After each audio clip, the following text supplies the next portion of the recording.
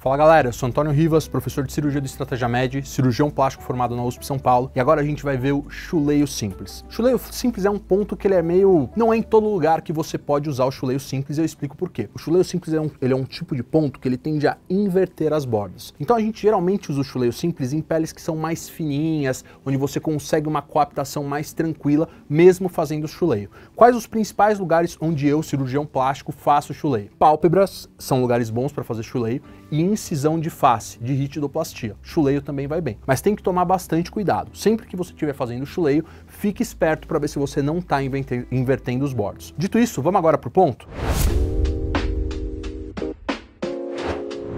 O chuleio simples, que é o que a gente vai ver aqui, ele sempre começa com um ponto simples para você fixar o chuleio. Então vamos lá. Passou aqui a bordinha de um lado, passamos aqui do outro, Vamos dar o tal do ponto simples. Puxo o fio. Para dar o ponto simples, entro com o meu porta-agulha pelo lado de dentro do fio, duas voltas, pego a pontinha, cruzo as mãos.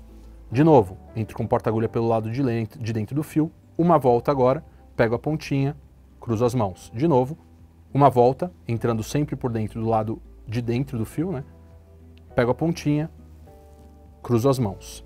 Certo? O ponto de fixação do chuleio foi dado. Agora o que eu faço? Eu venho aqui e corto esse excesso de fio que ficou.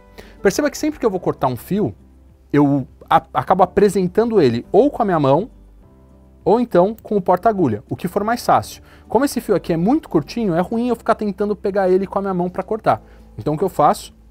Eu pego ele com o meu porta-agulha, apresento ele com o meu porta-agulha e aí corto. Muito bem, vamos então agora para o chuleio. Como eu faço o chuleio? Você entra aqui com a sua agulha na pele, se apresentando com a pinça, passa a agulha de um lado para o outro. Aqui eu vou fazer uma passada em bloco. Eu não gosto muito de fazer isso, mas em algumas situações, quando a, a, a ferida está muito favorável, a gente pega os dois lados da pele com uma passada só. Então eu vou fazer isso aqui para facilitar. Então a gente passa aqui.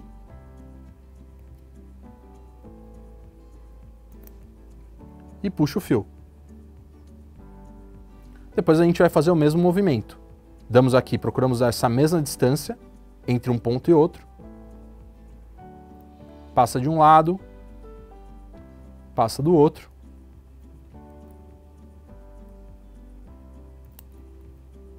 E puxa o fio. Você está gostando dos nossos vídeos de semiologia e sutura do zero e quer continuar vendo este e outros vídeos sobre exame físico e sutura? Nós temos um curso completo e gratuito esperando por você. Basta clicar no link da descrição e se inscrever. Nos vemos lá! Vamos dar mais um? Entra aqui, passa de um lado, passa do outro, puxa o fio. Agora vamos dar o último.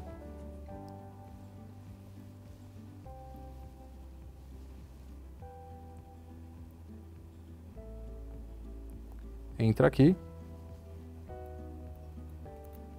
Passou a agulha de um lado. Passou a agulha do outro lado.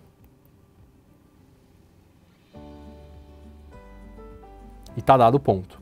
Agora a gente precisa aprender como a gente vai encerrar esse ponto. De que forma a gente vai terminar, arrematar esse ponto? Olha, existem algumas formas da gente fazer isso. A mais fácil e talvez a mais comum é terminar isso num nó que a gente chama de nó de roseta, que vocês vão observar aqui. Olha como é que eu faço. Passo o ponto, entro de um lado, entro do outro. E aí, eu não vou puxar o fio até o final. Eu deixo essa alcinha aqui que é o que eu vou utilizar para fazer a roseta, estão vendo? Ó, fica uma alça aqui. Como é que eu vou dar esse ponto? Eu pego aqui esse fio, que é o fio que tem a agulha na ponta, estão vendo?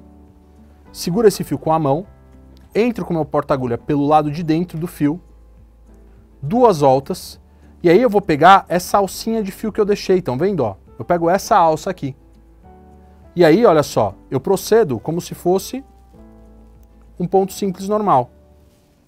E aí, de novo, ó, entra aqui por dentro do fio, faz a voltinha, pega a alça, dá o ponto, entra pelo lado de dentro do fio, faz a voltinha, pega a alça e aperta o ponto. Para cortar, segura os dois instrumentos e corta a roseta. E assim a gente consegue encerrar de forma satisfatória um chuleio ou qualquer tipo de sutura contínua, desde que não seja intradérmica ou por dentro da pele, certo? Como eu falei para vocês, chuleio simples é um ponto que vocês têm que ficar muito esperto. Se vocês decidirem fazer, façam com bastante cuidado para tentar manter a simetria, tanto de profundidade por onde a agulha passa, como pela distância onde você está passando o ponto, porque qualquer vacilo aqui você inverte a pele e a cicatriz fica inestética. Tudo bem? Esse foi o chuleio simples.